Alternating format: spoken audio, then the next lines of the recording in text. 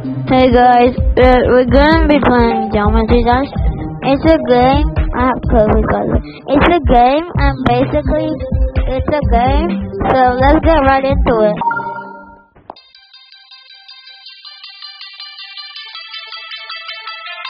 This is so fun.